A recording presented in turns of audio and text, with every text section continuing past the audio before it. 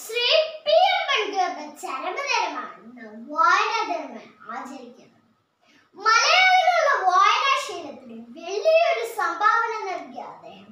കേരളത്തിൽ അങ്ങോളം ഇങ്ങോളം ഗ്രന്ഥശാലകൾ തുറന്നു പ്രവർത്തിക്കാനായി മുൻകൈ അദ്ദേഹത്തിന്റെ സ്മരണയ്ക്ക് മുമ്പ് ശിരസ് നമിച്ചുകൊണ്ട് ഞാൻ ഇവിടെ ഒരു കുട്ടിക്കവിത വായിക്കുന്നു.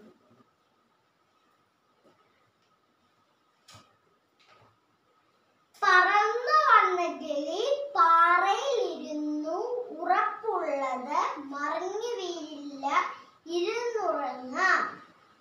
അറിവ് സമ്പത്താണ്. അതിനുള്ള മാർഗമാണ് വായന.